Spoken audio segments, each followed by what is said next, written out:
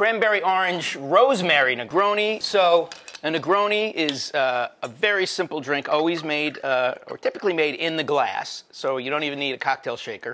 You do need ice though. Um, so I start out with about an ounce and a half of gin.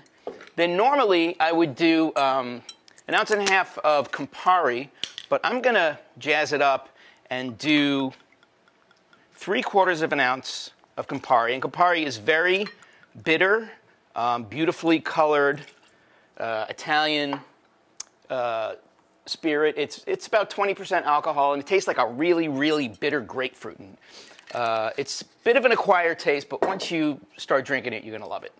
Uh, and then I'm going to add three quarters of an ounce of cranberry juice. And this is 100% cranberry. Yeah. This is not a sweetened. Yeah, it doesn't have uh, like extra sugar or anything like that in it. Um, and then the other ingredient in the classic Negroni is red vermouth. So I'm going to do three quarters of an ounce of red vermouth. Uh, vermouth, as you know, is a fortified wine. So keep it in the fridge and it will stay nice and fresh. Um, then, because I think cranberry and orange go very well together, I'm going to actually squeeze uh, a wedge of orange in this. Normally for a Negroni, you probably wouldn't use a wedge of orange. You'd maybe just finish it with a twist of uh, orange twist on top. But I'm going to add a little more orange flavor to that. Now we add the ice, which I love to spill, Spill all, all over, the, counter. counter. Yeah, there we go. Oh my God. and now that you made a mess, you can stir that right in the. you my know, God. I am just the klutziest bartender. Well, these glasses, which are very beautiful, they're a gift from uh, Maria, Rachael's sister. They're not the easiest to stir because, as you can see, They're triangle shaped. they're triangle shaped, uh, not round. So I'm making things more difficult than they need to be.